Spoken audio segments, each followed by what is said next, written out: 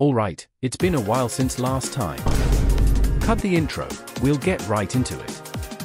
If you've done modding before, skip to the timestamp on screen, I'm just going to explain the basics for all the new people.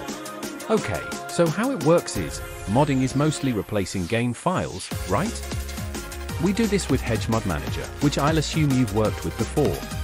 What happens is, when the game asks for a certain archive, or pack, to be loaded, Hedge Mod Manager checks if that pack exists in any of the mods.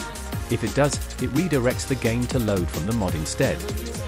So say you copy character slash sonic.pack into your mod and edit it to use a 3D model for Shadow instead. When sonic.pack is loaded, it will load the one from your mod and Shadow will appear in game. Same concept for custom levels, but it uses multiple different pack archives. Okay, installation time. Go to the GitHub page in the description and download the zip as shown.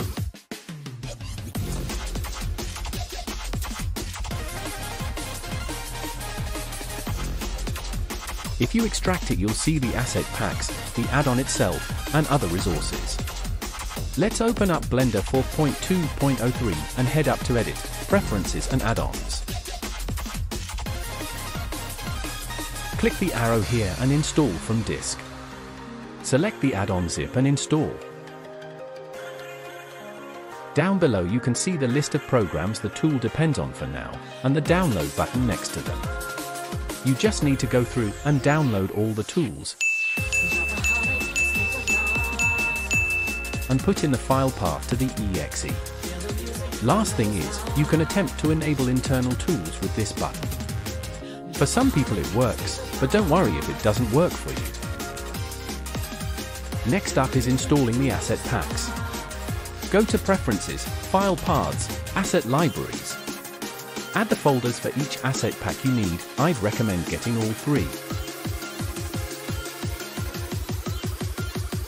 Now we can make our stage geometry, or terrain.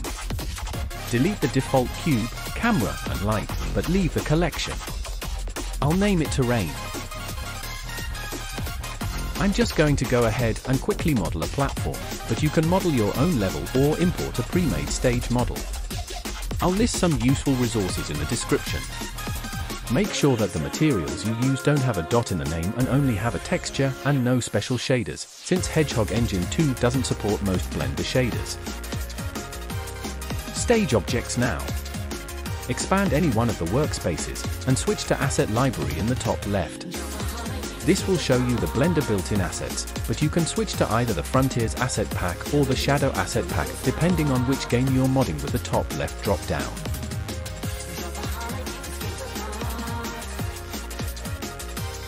In Essentials, I'm just going to drag in the Start Position object, which looks like Shadow.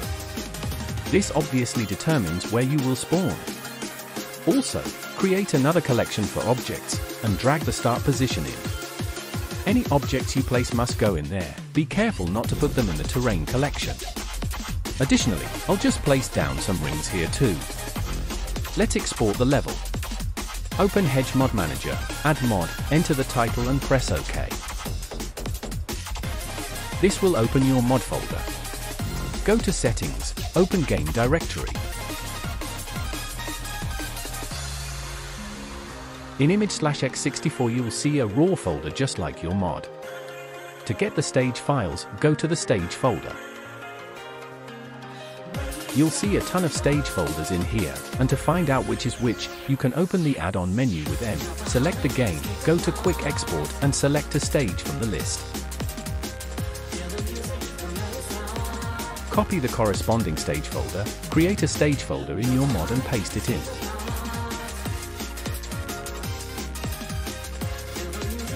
You also need to create a Gedit folder for object layouts. Go to the Gedit folder in the game files and copy the stage Gedit in.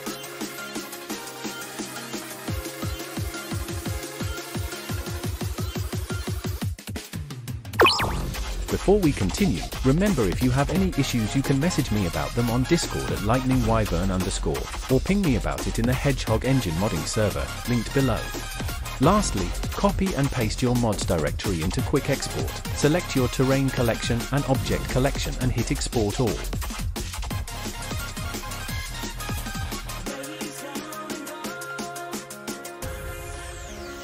First test run, enable your mod and hit save and play. As you can see, the stage has loaded in fine with the platform and rings. Now, let's quickly return to Blender before your ears get destroyed by Chaos Island dubstep. Anyway, you probably want to know how to edit parameters and settings for objects. Take this normal floor for example. If you go over to the blue wrench tab on the bottom right, you can see a bunch of settings to play around with, which have previews for some settings as well. For objects that support movement previews, press space while hovering over the viewport to play them. For some objects, these parameters may not be enough. If so, go to the orange square tab and enable manual parameters. This allows you to edit all available parameters, but not all of them have previews.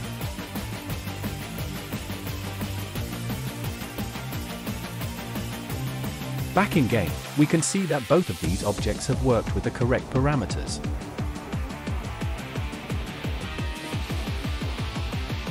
One last thing you should know about is how to make rails and paths.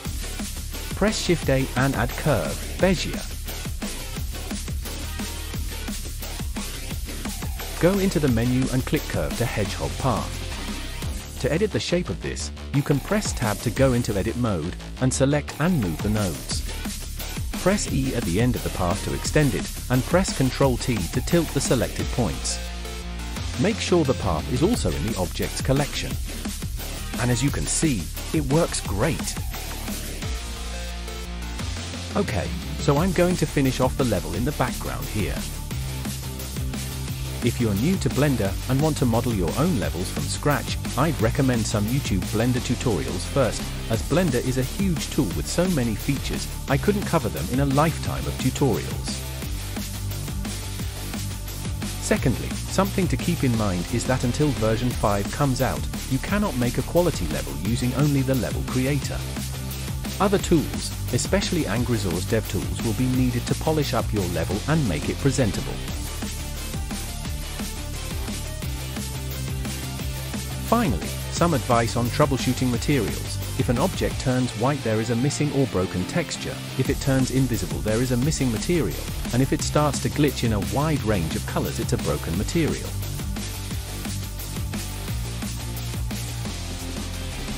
Here's the level, completed for now. I decided not to go in depth in this video, so let me know if you want anything more advanced in the future. Anyway, see you next time.